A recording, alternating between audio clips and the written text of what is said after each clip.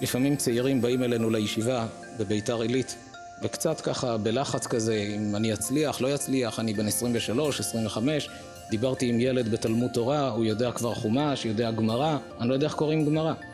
תמיד אני שואל אותו, לקרוא אתה יודע?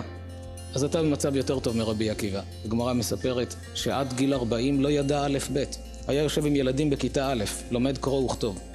ואחר כך נהיה גדול הדור, רבו של רבי שמעון בר יוחאי מחבר הזוהר הקדוש. אם זה היה רבי שמעון בר יוחאי, מי היה הרב שלו? כמה חז"ל משבחים את רבי עקיבא. ובגיל 40 רק הוא התחיל.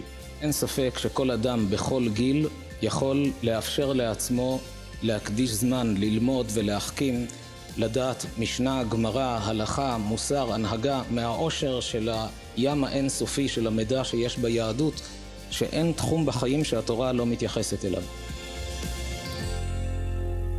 you